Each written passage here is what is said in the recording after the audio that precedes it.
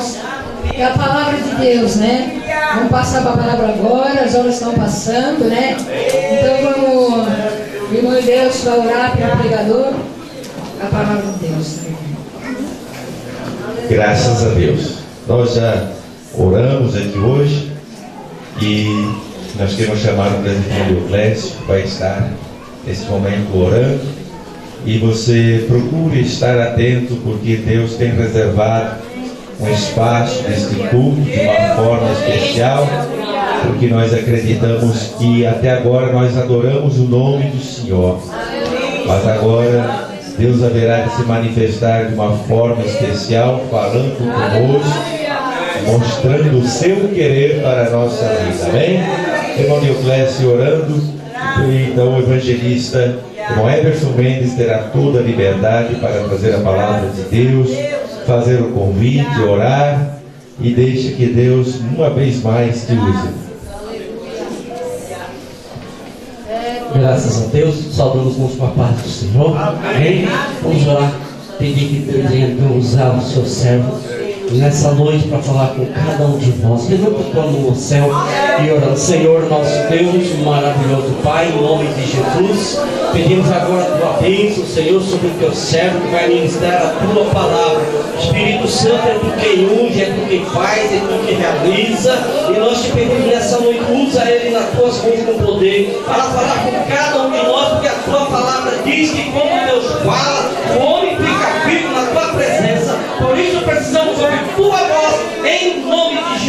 Agradecemos. Amém. Aleluia. Amém. Graças. Paz do Senhor, meus irmãos. Amém. Amém. Pega a sua Bíblia e a abra em Gênesis, capítulo de número 50.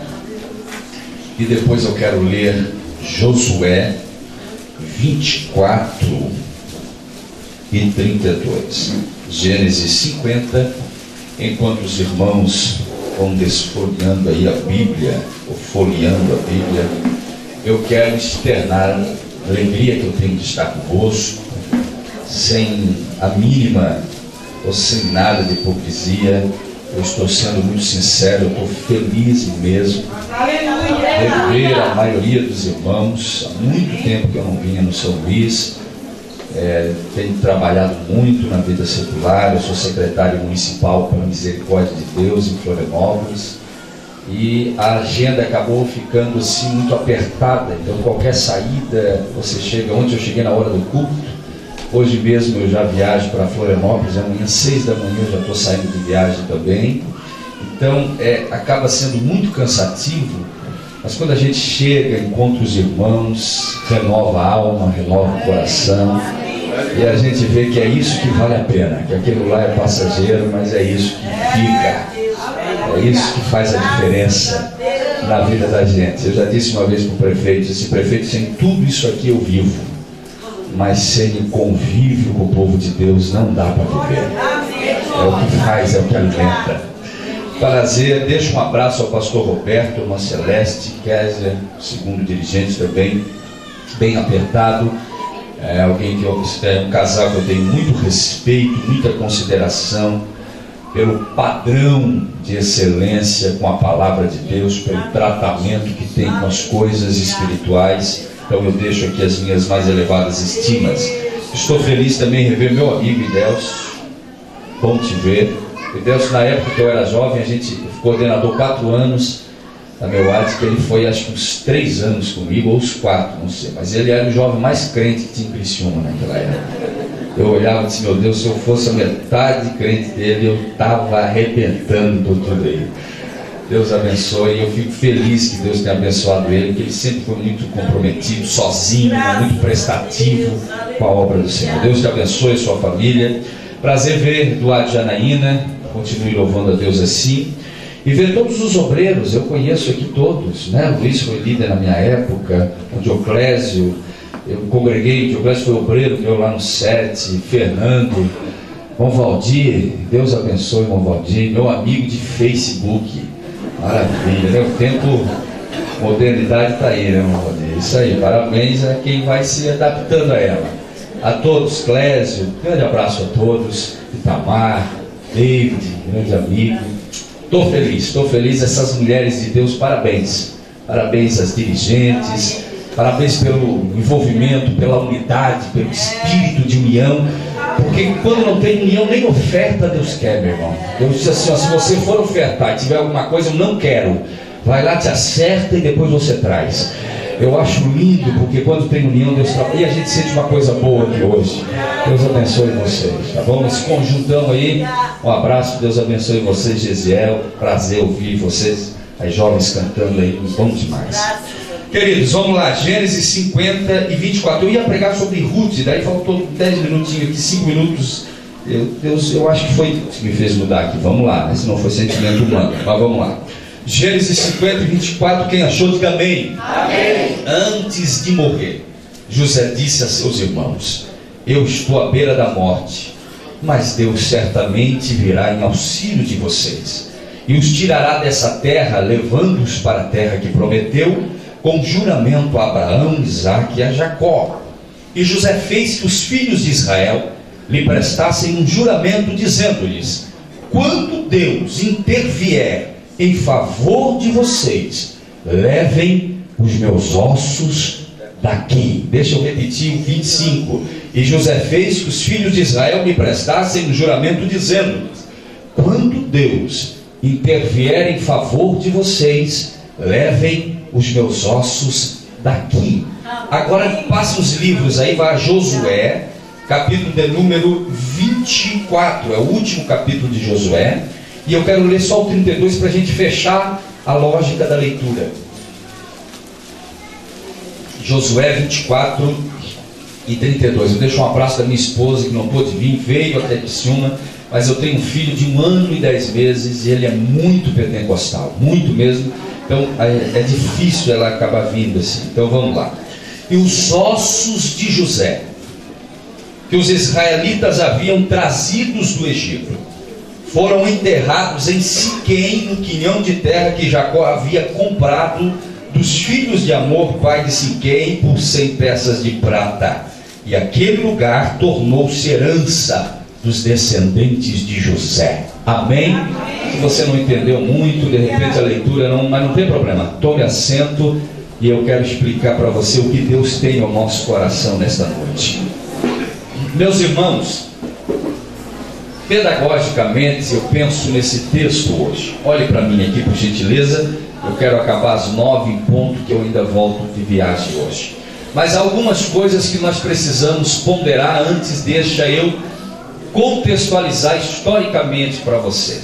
José sente que a, a, a, idade vai, vai chegando e chegou o momento de morrer. E José talvez seja um dos personagens do Velho Testamento, junto com Davi, que mais inspiram pregadores. Talvez é um dos, uma das fontes porque se eu quisesse pregar sobre os sonhos de José, eu poderia pregar hoje, seria uma grande mensagem. Todo pregador que, pre, que se preze já pregou um monte sobre os sonhos de José.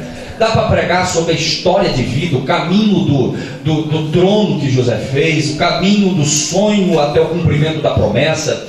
Dá para trabalhar sobre as dificuldades, dá para trabalhar numa grande mensagem sobre José, sobre o coração curado que José teve, a relação com quem não entendeu a promessa. Dá para pregar um monte de coisa. Mas hoje eu queria pregar sobre os ossos de José para você. A Bíblia diz que o sangue de Abel ainda fala nos dias de hoje. Se a Bíblia diz que o sangue de Abel ainda fala, eu acredito que os ossos de José também possam falar alguma coisa para nós. E eu quero puxar essas lições dos ossos, mas antes deixa eu trazer as informações históricas. A idade chegou. José vai morrer, Clécio. E ele sente que o tempo passou. E o tempo ele não dá, ele é irreversível. Chegou o momento. José chama seus filhos, coloca ao redor da cama e diz assim: Ó, meu tempo chegou e eu estou indo embora. Estou partindo. Mas eu quero que vocês me prometam, façam um juramento para mim, que quando eu morrer, o tempo vai passar e uma coisa eu sei: Deus tem promessa para Israel. E eu sei que Deus vai cumprir o que prometeu. Então vai chegar o dia que Deus vai tirar vocês do Egito e vai levar para uma terra que vai ser a terra de vocês, a terra que Deus prometeu. E eu quero que vocês me garantam uma coisa simples: que quando vocês forem embora, vocês vão levar os meus ossos daqui do Egito. Não deixem os meus ossos aqui. Levem os meus ossos com vocês. E os filhos, por certo, abraçam o pai e dizem: Pai, fique tranquilo. O senhor pode morrer em paz. Porque quando o senhor morrer, depois que morrer, e a hora que nós formos embora, nós vamos levar os seus ossos daqui. Josué, José fala isso morre. Sabe quanto tempo se passou depois que ele morreu para o povo começar a sair do Egito? 400 anos depois. Os filhos dele já tinham morrido, os netos dele, os bisnetos, todo mundo já tinha ido. 400 anos depois, o povo começa a sair do Egito. E quando o povo vai sair do Egito, todo mundo naquela correria total, alguém olha para o lado e diz: Ei, tem um baú aí no canto, e já tem até paranho em cima dele. Esse baú tem os ossos de um homem de 400 anos atrás aqui. E tem uma promessa para esse baú. Nós temos que levar esse baú embora. E eu parece que vejo alguém dizendo assim: não, vamos correr, vamos salvar a vida. E ele diz assim: não, não, não, tem promessa e nós vamos ter que levar. Eles vão lá, pegam o baú com os ossos de José e entram no deserto. Mais 40 anos andando no deserto. Temperatura altíssima. Gente morrendo atrás de gente, porque aquela geração vai morrer tudo, menos Caleb e Josué. E o tempo vai passando, 30 e poucos anos andando em círculo no deserto. Círculo no deserto. E daqui a pouco alguém olha para o outro e diz assim: Eu conheço um pouco de história do povo judeu e também conheço um pouco de ser humano.